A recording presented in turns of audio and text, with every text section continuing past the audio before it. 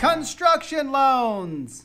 If you're thinking about building a house and you don't have massive amounts of cash laying around, then you're going to need a construction loan.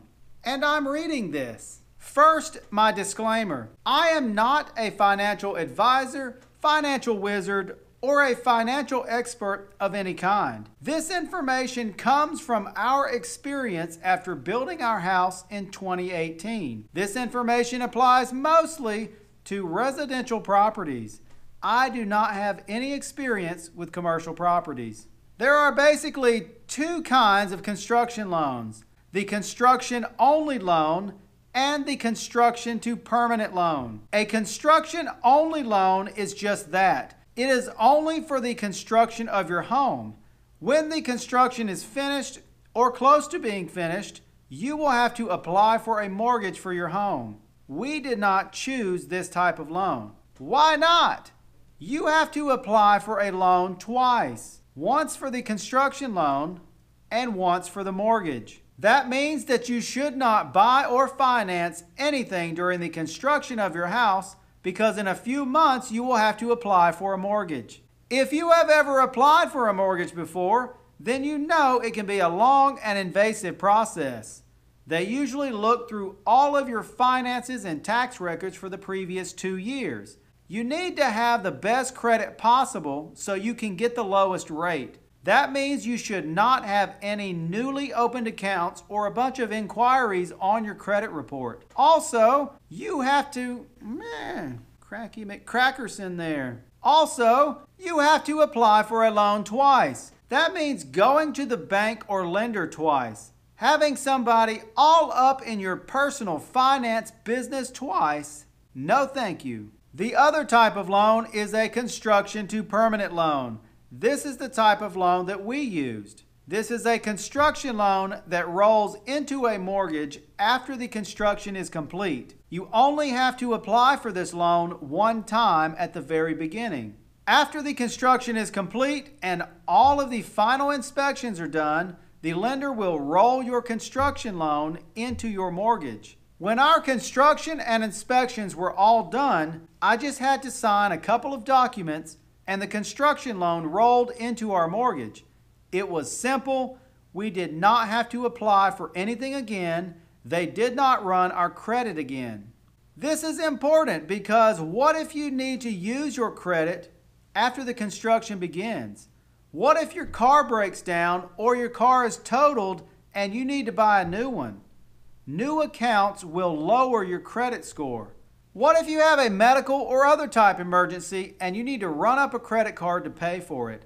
That will lower your credit score. It could hurt you when you go to apply for a mortgage when the construction of your house is almost complete. I had planned on buying a tractor or mini excavator while we were building our house so I could use it around our property. I ended up not buying one, but I could have financed one and not worried about hurting my credit score because my construction loan was going to roll over automatically into our mortgage. What about buying a new washer and dryer or new furniture for your new house? With a construction to permanent loan, you can buy and finance these at any time because you won't be applying for a mortgage. Maybe there bright lights. Maybe there is a great sale going on and you don't want to wait until construction is done. Or maybe that couch you want is back ordered or has to be custom built and it will take a month to get. So you want to go ahead and buy it a month or two before the construction is complete. That way it will be ready as soon as your house is complete. With a construction to permanent loan, you can go ahead and buy or finance these things because you don't have to apply for a mortgage. Let's talk about a few things that apply to all construction loans. Construction loans are usually interest only loans. The good thing about an interest only loan is that it can mean a lower monthly payment for you during construction. That is important if you are paying rent or paying on a mortgage for one house while trying to build another. Construction loans are temporary or short term loans, usually lasting between 11 and 13 months. Our construction loan was a 12 month loan. That means we had to be done with the construction and refinanced into a mortgage before the 12 month term was up. Otherwise, there could be big penalties or fees to pay in order to get an extension on our loan. A house can usually be built in four to six months, so an 11 or 12 month loan should give you plenty of time for construction or refinancing. Some things that could cause construction to take longer than four to six months are bad or rainy weather or changing your home design in the middle of construction. A construction loan is usually paid in draws. In the case of our loan, it was paid in six separate draws. Each draw was paid after a specified amount of work was completed and inspected. You do not get a big check up front for the entire amount of the construction. This is a good thing. You might end up spending all the money on a new car, a trip to Vegas, or whatever, and not paying for the construction. Also, the money is sent to your contractor. It is not sent to you. Our lender required that our contractor sign a paper that said he agreed with the draw schedule. The lender had problems in the past with other contractors not following their draw schedule and then demanding money or ultimately quitting the job because the lender wouldn't give them money until certain things were done. Now, the lender is clear and upfront with every contractor so they know what to expect and what is expected of them. This was not a problem for our contractor. He looked over the draw schedule and signed the paper for the lender. This next piece of information is a big reason why I wanted to make this video for other people, to try to help other people. This next thing that happened to us was very stressful. It almost caused a major problem for us and almost stopped the construction completely. We qualified for 100% financing, but we still needed a lot of cash to get the project started. That was a real surprise to me, and it was a big problem that we had to figure out quickly. We spent most of our cash as a down payment on our land because I thought I was getting 100% financing on the construction. Well, we did get 100% financing on the construction, but here is the problem. Blah, blah, blah, we got the first draw on the day that we started the construction loan. It was a very small amount, around $6,000. It was only enough to cover a few permits and the cost of site prep and digging out the basement. Draw number two was around $50,000. It would not be given to us for several weeks until after the footers, the basement walls, and the concrete floor for the basement had all been installed. The subcontractors want their money as soon as their job is complete. They do not want to wait several weeks for me to get a draw from the lender. So I had to come up with a lot of cash, around $30,000 at the last minute, to get this project started. On a side note, you should get the cash back with the last draw when all construction is complete if you haven't gone over your budget and if you have an honest contractor. Can you tiptoe around a little bit up there, please? Woo! Your contractor might be different. He might float you the money or pay his subs out of his own pocket until more draw money comes in. Your contractor might even get the construction loan in his own name or his company's name so you don't have to deal with the lenders or the draws at all. Ask your contractor about this situation so you know what to expect, and you'll know if you're going to need a bunch of cash up front, even if you get 100% financing for the construction. I'm going to talk a little bit more about how the draws worked for us. We got the first draw on the day that we closed on the loan. As I said earlier, it was a small amount, around $6,000.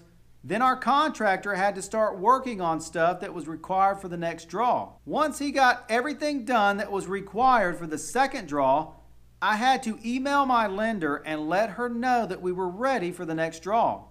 She sent out an inspector to look over the property and make sure that the required work had been done. If everything that was required for the draw was complete, she would issue a check to my general contractor. He would go by and pick it up. From the time that I emailed her until the time that my contractor got the check in his hand, it could have been as fast as one day or maybe three or four days. A lot of it depended on how busy the lender's inspector was and how fast he could come by the property to verify that the required work had been completed. Do you need a licensed general contractor to get a construction loan? Maybe. It depends on your lender. Our lender would not allow us to be an owner builder. They wanted to see that we had a signed contract with a general contractor. You might be able to find a lender that will allow you to be your own general contractor. I called some local and smaller banks near us. I did not find any that would allow us to be an owner builder, but I gave up pretty quick. I also had other reasons as to why I had to give up on that thought of being an owner builder. If you want to build your own house and you need a construction loan to do it, keep reaching out to lenders until you get the answer you need. I'm sure you can find a lender that will say yes if you call enough of them.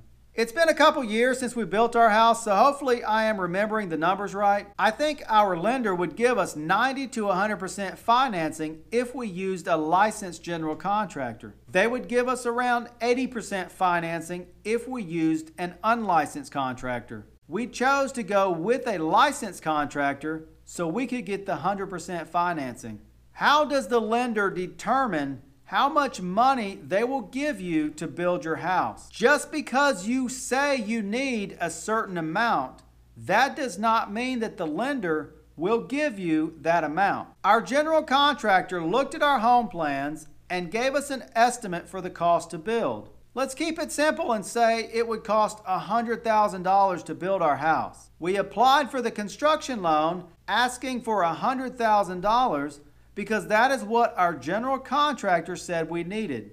When we applied for the loan, we gave the lender our home plans and the estimate for the cost to build. Our lender worked with a real estate appraiser to determine if the money we were asking for is what we really needed to build. The appraiser looks at the house plans, looks at the land, and compares it as a finished product to similar properties in the area. He says if this house is built on this land, it would be worth this after it is completed. In our case, the appraiser determined that what we were asking for was a fair amount. He felt that the general contractor did a good job with his estimation on building costs. Remember from earlier, I said that we got 100% financing. Using our example of $100,000, that means they would have loaned us the entire $100,000 to build our house. But what if we used a contractor that did not have a license and the lender would only loan us 80% of the estimated cost to build? That means the lender would only give us $80,000 to build and we would have to come up with the other $20,000 in cash. Another thing to think about is if your contractor estimates higher than the real estate appraiser. Let's say the contractor estimated $120,000 to build, but the real estate agent thinks the property would only be worth 100,000 after it was done. The lender will go with what the appraiser says over the contractor. The lender will only give you $100,000 if you got approved for 100% financing. Then you would have to either come up with the rest of the cash that the contractor needs to build or you can get with the contractor to look over the estimate and try to make some adjustments. The housing market can affect how much the lender will give you for construction costs. Right now in 2020, the housing market is booming and values are up. When the appraiser is looking at your plans and your estimate to build, it should be easier to get approved for the amount you need because he will be comparing your completed property to other properties in a good market if the housing market is terrible and values were falling like in 2008 to 2010, you might have a harder time getting all the money you need for the construction cost. Foreclosures and dropping home values will hurt you when the appraiser goes to compare your future completed project to other properties. We're almost done. We made it to the last segment. What if you still owe money on the land that you are building your house on? When we closed on our construction loan, the lender paid off our land. Of course, the money that we owed on the land was rolled into our construction loan and eventually into our mortgage after the house was finished. That's important to know if you still owe money on the land that you want to build a house on. You need enough equity in the property so you can borrow not only the construction cost, but also enough money to pay off your land. If you owe a lot on your land or you have very little equity, it could affect how much money out of the construction loan you will have left over to build your house. For example, let's say that you are going to build a house for $100,000. Your general contractor has estimated that it would cost you $100,000 to build your house. Now let's say that you owe $20,000 on your land. So you need $120,000 to build your house and pay off your land. The real estate appraiser says that after it's built, your house on your land will only be worth $100,000. That means that the lender will only give you $100,000 to build your house and pay off your land. You're going to have to come up with $20,000 in cash from somewhere. Now, if you're lucky and you're in a good housing market and property values are up, the real estate appraiser might say that after it's been built, your house on your land will be worth $120,000. Then the lender will most likely be willing to make the construction loan for $120,000. $20,000 would go to pay off the loan on the land, and then you would have $100,000 left over to build your house. Can't even do that right. If you made it this far in my video, thank you so much for watching. I hope you found this information helpful. If you have any questions, you can ask me in the comments below. We'll see you next time. Why do I keep pointing?